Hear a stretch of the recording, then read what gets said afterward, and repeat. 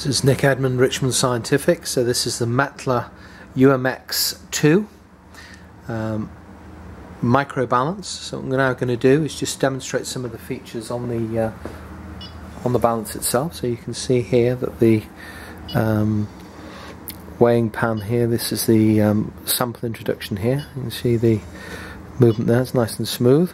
So what now we're going to do is um, put a little sample on there of a, uh, it's a small um, staple as it happens to be. With um, So what we're now going to do is just tare it and we'll now uh, place uh, this on the uh, on the balance itself and we're just going to weigh it. Now when I can pick it up, here we go. Okay, right, so what we'll now do is we'll just open this onto the side and again, one way, Right, let's, okay, let's put that on here.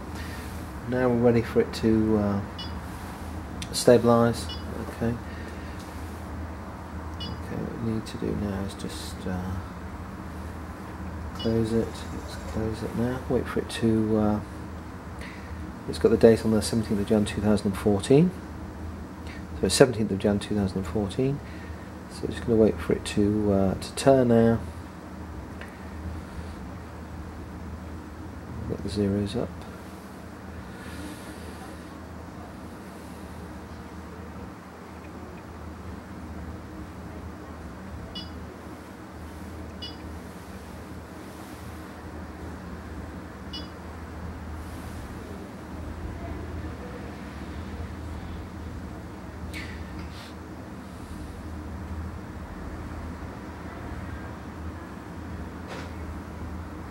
Okay. So we'll open it up, zero, it, we'll put it in here. Here it is. Okay, we'll close it. Okay, so we've got a weight there. Zero three one one.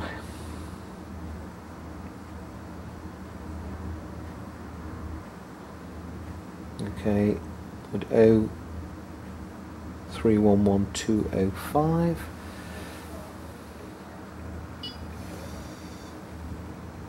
Take it off. Okay, close it. Okay, just tare it again.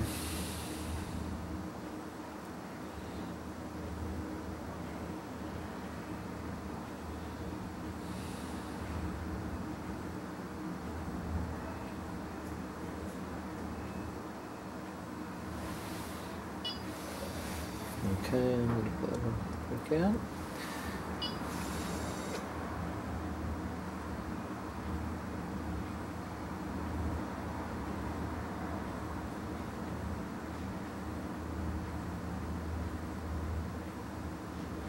Okay, so I hope that gives you an idea in terms of repeatability. Whether you can see this, this is a test done by the engineer there showing all the different uh, 1 gram, 0.5, uh, and so on and so forth. So hopefully, I don't know you can see that. There's a printer. I've got the printer facility here. See the printer working there. So, any questions? Please contact Nick at Richmond Scientific. Hope this is uh, this this has been of help. Thank you.